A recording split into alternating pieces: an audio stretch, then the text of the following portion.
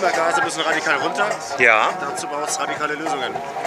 Die muss man angehen. Wir wollen kein offenes Gespräch. Sondern? Das kann jeder Ihrer Hörer auch. Das sage ich da gerade. Das ist eine reine Provokation.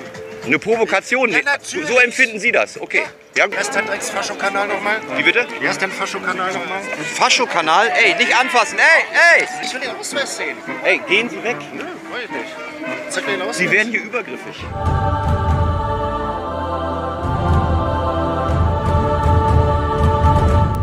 Sonntag, 12. März 2023. Der Beobachter ist online im Mauerpark.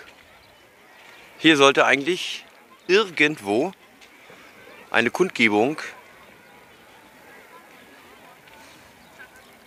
für den Volksentscheid Klima 2030 Berlin stattfinden. Tja, so ist das mit spontanen Aktionen. Da kann man auch mal reinfallen. Weil wie man hier sieht, sieht man hier nichts. Und ich weiß nicht, ob ich den einen oder anderen Passanten hier mal ansprechen soll, was er überhaupt von, dieser, von diesem Volksentscheid hält. Hallo, was halten Sie eigentlich von dem Volksentscheid, der da jetzt übernächste Woche stattfindet? Klimaneutral Berlin? Keine Ahnung? Okay. Schönen Sonntag. Guten Tag, entschuldigen Sie bitte, wenn ich Sie so einfach anspreche. Ich habe ein paar Fragen zu diesem Volksentscheid, der da übernächste Woche ist. Äh, ich bin jetzt live auf YouTube, aber Sie sind auch nicht im Bild. Haben Sie da Interesse, mir vielleicht ein, zwei Fragen zu beantworten, was Sie davon halten und nicht? Okay, schönen Sonntag, vielen Dank. So gruselig sehe ich doch gar nicht aus. Hier ist eine Familie. Ja, vielleicht kann ich da mal was anfragen. Schönen guten Tag, entschuldigen Sie, wenn ich Sie anspreche. Ähm, ob Sie mir vielleicht ein, zwei Fragen beantworten würden, wenn Sie eine Idee haben zu dieser ähm, Volksentscheid, der jetzt übernächste Woche stattfindet? Okay, Ideen habe ich, ich beschäftige mich doch damit. okay, klar, vielen, vielen Dank, schönen Sonntag. Okay, haben sich nicht mit beschäftigt. Da, guck mal. Zwei Wochen am 6. Da haben wir was. März, am Sonntag, den 26. März, findet nochmal eine Wahl in Berlin statt. Ja. Der Volksentscheid Berlin 2030 klimaneutral. Und das Beste ist, Sie können jetzt auch noch Briefwahl beantragen. Bis zum Aha. 19. März kann man noch Briefwahl beantragen und können Sie ganz bequem zu Hause auf dem Sofa diese wichtige Zukunftsfrage mitentscheiden. Am 26. März Volksentscheid Berlin 2030 klimaneutral. Und jetzt erstmal noch einen wunderschönen sonnigen Sonntag hier im Mauerpark. Danke euch. Auf Strümpfern. Das war ja Job, richtig? Ja, ja, aber das ist ja auch legitim, das kann er ja machen. Wir geben euch unsere Stimme eine Wahlurne. Da kann ich mich ja gleich ins Grab machen. gut, so hat jeder seine Meinung, völlig okay. Ihr habt ja nicht mal eine Lösung parat. Das würde ich ja. Ja, das. Extra, darüber wird gar nicht diskutiert. Doch, darüber wird heute den Genau. Warum sind Sie denn so aggressiv? Na, weil Sie mir hier verbieten wollen, über wichtige Zukunftsfragen zu diskutieren. Wir haben hier eine Kundgebung angemeldet und wenn Sie nicht diskutieren wollen, können Sie gerne sich weitergeben. erstmal. Wir werden hier Halten Sie diskutieren das. Potsdamer Abkommen ein und befolgen Sie laut Grundgesetz den Artikel 139 zur Entnazifizierung und zur Selbstbestimmung. Sehen Sie Gottes Bilder.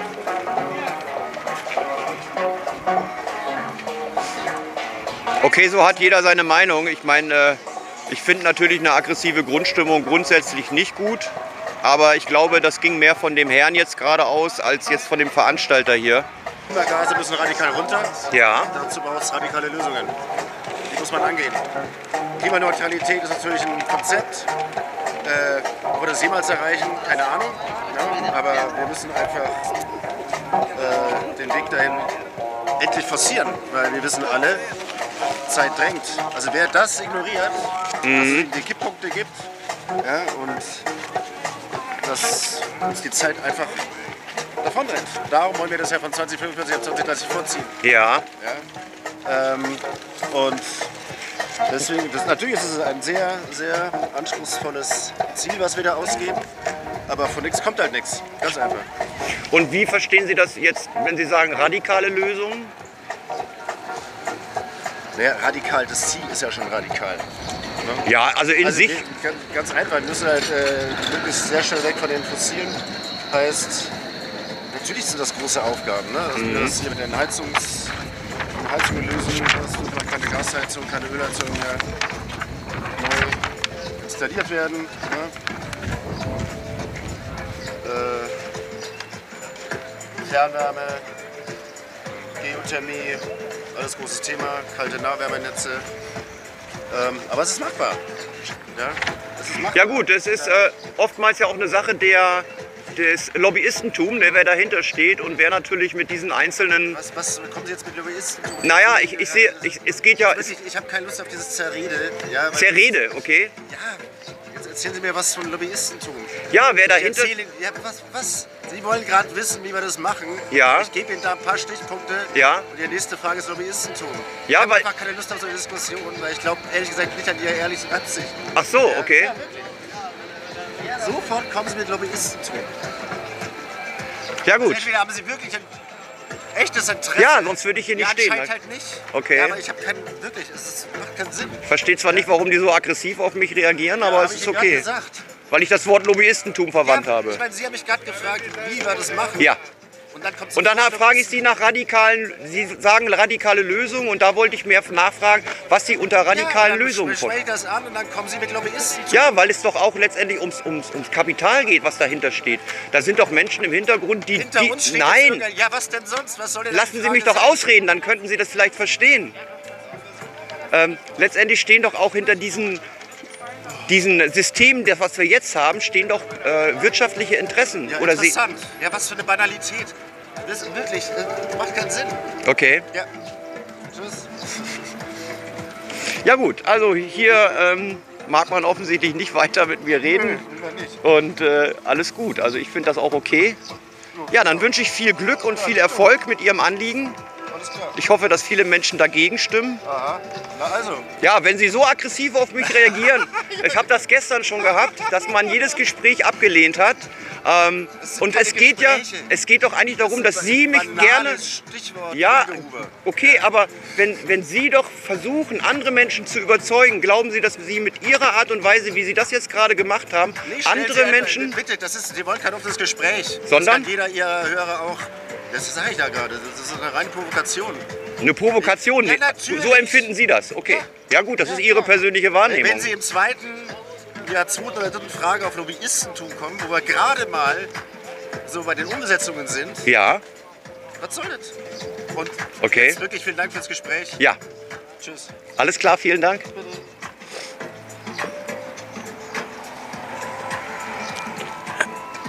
Okay, ich filme das natürlich noch weiter, weil es darf ich natürlich auch als Pressevertreter. Ähm, ich werde natürlich jetzt hier auch gefilmt, aber das ist kein Problem. Frankie, ja. also, äh, ich glaube, dass äh, ich, entweder kriegt er dann einen Wutausbruch, also das werde ich ihm natürlich nicht sagen, weil der ist schon so getriggert von mir, weil ich bleibe hier natürlich auch eiskalt stehen. aber ja, natürlich. So sehe ich das ja auch. Das sind ja Fragen, die hätte ich mir für ganz, ganz später aufgehoben, ob er glaubt, dass dort irgendwelche ähm, ähm, Stiftungen oder Verbände dahinter stehen, äh, die über viele, viele Ecken und Hinterzimmer so eine Aktion hier stützen. Ne? Aber da würde ich ja direkt die Tür eintreten. Ne? er hat ja schon auf das, auf das Wort Lobbyismus so aggressiv reagiert, wo ich mir dachte, er springt mir gleich gegenüber. Hier kann man natürlich in so ein Einzelgespräch nicht reingehen. Aber sie versucht da mit Händen und Gestiken ihren Zettel loszuwerden. Aber vielleicht kann ich mir den mal mit der blauen Mütze gleich mal schnappen, was er dazu sagt. So, ich verfolge den mal. Ich, ich stalk den jetzt mal. Pass mal auf, ich stalk den jetzt mal. Schnell hinterher. Ich quatsch ihn mal an.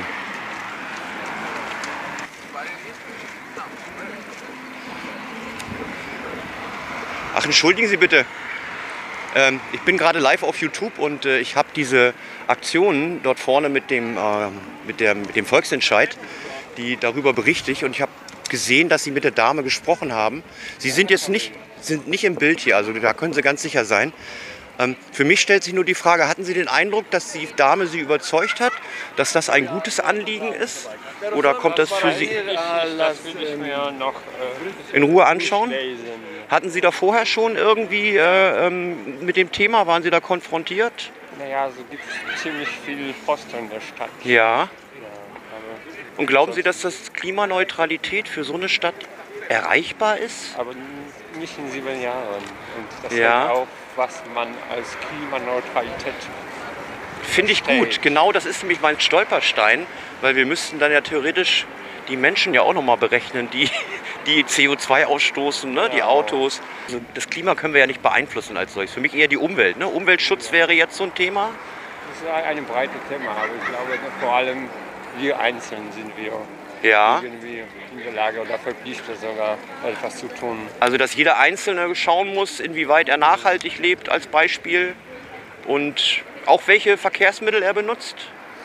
Das auch, glaube ich. Glauben Sie, dass es möglich ist, alle Autos aus Berlin zu verbannen, also jetzt wirklich diesen Pkw-Individualverkehr so zu beschränken, dass man diesen Zielen, die diese ähm, Veranstalter verfolgen, dass man denen nahe kommt? Also ich weiß nicht, inwieweit man etwas verbannen sollte, aber ich sage so, ich bin 31, ich habe immer noch kein Auto, das geht auch ohne Auto. Ja, aber Sie wohnen auch und leben hier in Berlin, ne? Gut, da ist natürlich der öffentliche Ver- Nahverkehr relativ gut ausgebaut. Für die Menschen, die im Rande wohnen, ist es ein bisschen schwierig vielleicht, ne? Ja, aber ich muss, ich sage so, ich muss zum Arbeit, ich pendle zwischen Berlin und Fehmarn und mit Oh. der Bahn, da sind auch fünf Stunden. Ja. Mit dem Auto geht es schneller und bequemer, ohne Verspätung, aber bis jetzt klappt gut. Okay. Prima. Lieben Dank, dass Sie äh, ein paar Fragen beantwortet haben. Ich wünsche Ihnen einen schönen Sonntag. Danke gleichfalls. Dankeschön. Tschüss. Okay, der war cool. Ich habe jetzt gerade mal gecheckt, was für ein Kanal das ist. Ja, das ist okay. Checkt ihr ruhig mal.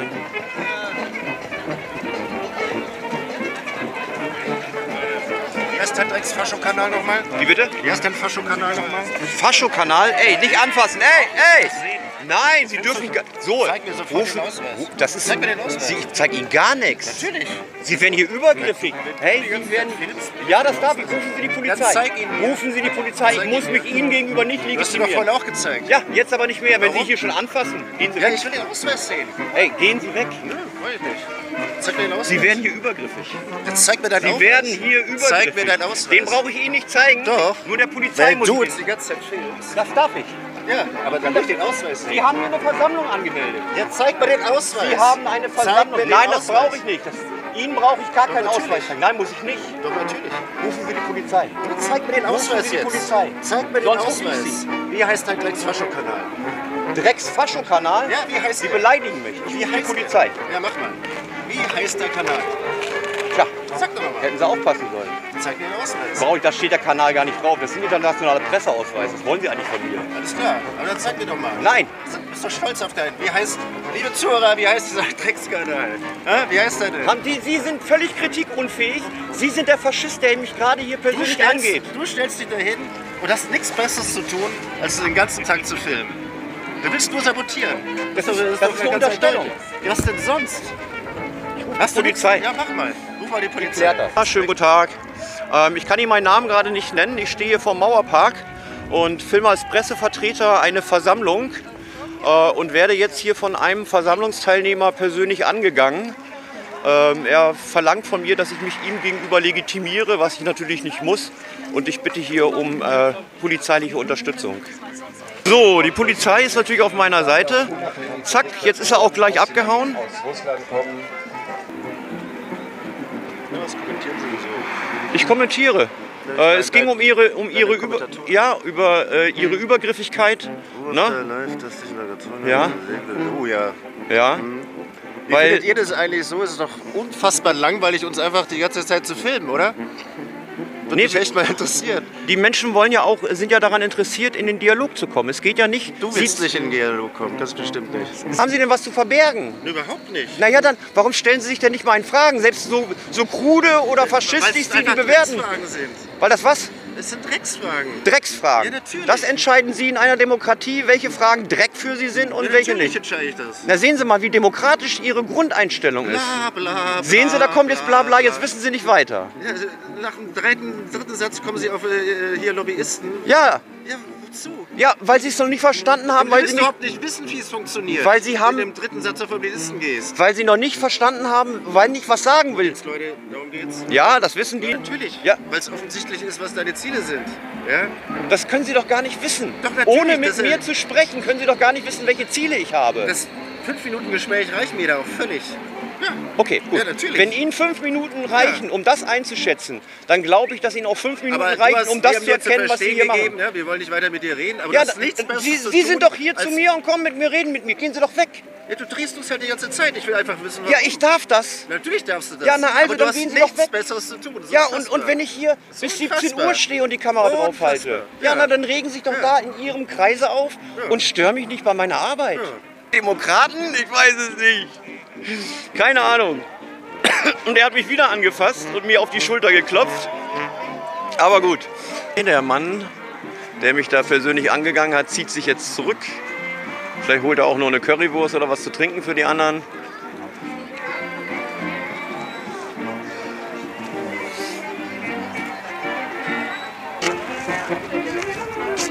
Stört Sie, dass ich die Plakate filme? Äh, machen Sie das nicht. Stören Sie mich nicht bei meiner Pressearbeit.